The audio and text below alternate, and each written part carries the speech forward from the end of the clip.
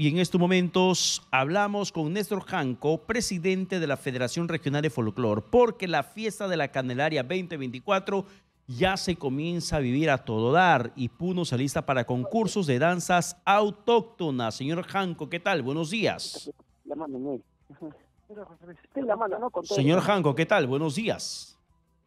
Sí, disculpe, buenos días. Estamos ocupados, como le indico, ¿no? Que estamos...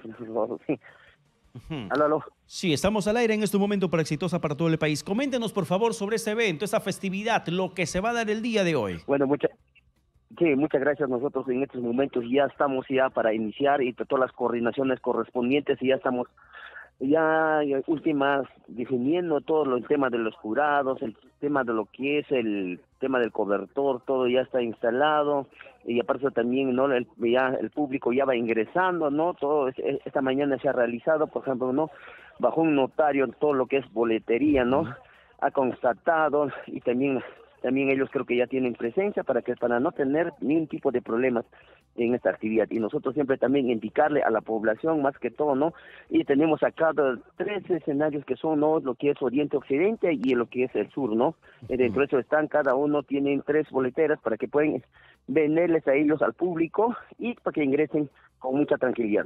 ¿Cuál es el ambiente en este momento que se registra en Puno a consecuencia de esta fiesta patronal de la fiesta de la Candelaria?